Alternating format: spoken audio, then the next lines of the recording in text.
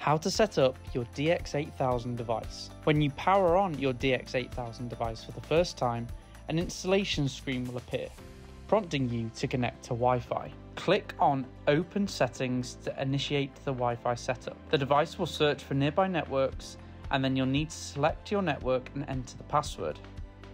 Once connected, click Done and then proceed to the next step by clicking Next. On the following screen, enter your merchant number and click Confirm to proceed with the setup. Next, create a new supervisor code, which must be 4 to 10 alphanumeric characters. After entering the code, re-enter it for confirmation and then click Confirm. You've successfully completed the setup. You will now be taken to the sale page, and your DX8000 is ready to use.